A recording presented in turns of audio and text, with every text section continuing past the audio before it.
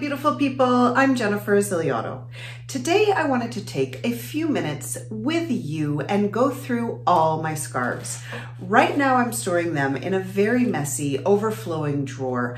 I want to take them out of there, go through them all, and rearrange them in my closet. I feel like scarves are such an amazing accessory to transition from one season to the next.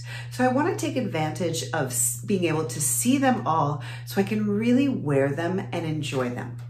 The types of scarves I've been wearing a lot lately are my Hermes scarves, which you know I love.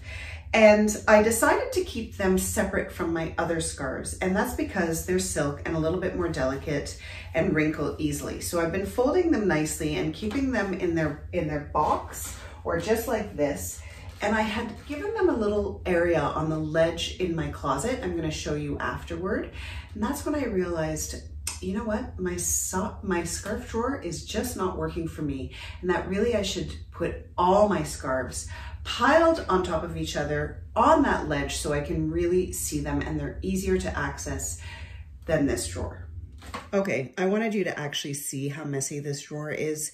It's stuffed to the brim, so let's get started. It's actually a little bit embarrassing to show you how messy I can be, but life gets in the way. So I'm just gonna start by taking everything out of here so that I can see what I have, so that I can sort through them.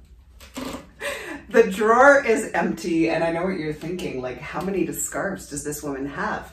But they're not all scarves. They're actually hats, um, gloves, scarves, pareos. So I'm going to get rid of all the things I don't want to keep in my room anymore, which is all my winter hats I've decided and all my winter gloves. There's by far enough room downstairs in the closet. I think I was just keeping them here because I didn't want them to get mixed up with everybody else's, but that was something I tackled a while ago. So there's a space for me to put those things. So now it's gonna be so much easier. Okay, so the first thing that I've done is eliminated all the winter hats and gloves and all the things that I use for running, for instance. All that is gonna go somewhere else. And then I also decided that I'm gonna take out these pareos from the scarf drawer these I'm gonna store somewhere else. These are really a summertime thing. They're not really necessarily a scarf.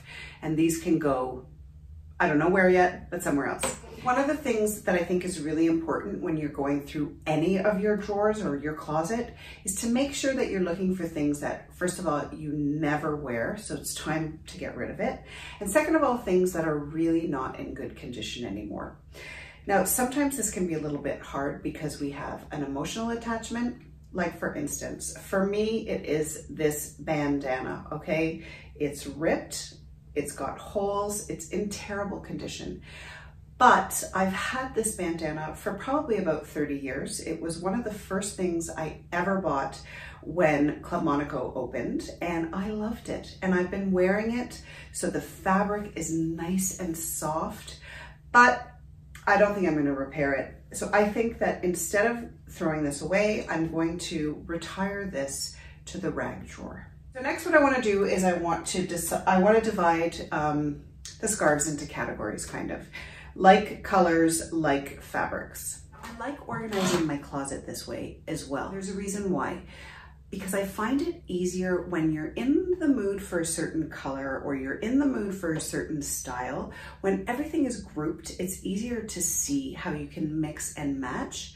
And also, especially with scarves, if for instance, I find I'm wearing the same sweater dress three days in a row, to give you an example, then if I can really see my scarves grouped in categories of color and texture, then I can just change the accessory and nobody really knows I'm wearing the same dress all week. All right, as you can see, I've folded everything and I've put them in um, sections of all the plaids together, all these sort of woolly light colors, going a little bit more summery and light, and then all my neutrals, and then of course, are all my Hermes here. So they're all put away. Everything fits if you can believe it. I feel like it's really easy to see and decide which scarves I want to wear. So that's it. Hope you liked this video. I hope it inspired you to go through one of the drawers or the cupboards in your house that needs a little bit of attention because really like what did that take 15 minutes so easy and such a nice sense of accomplishment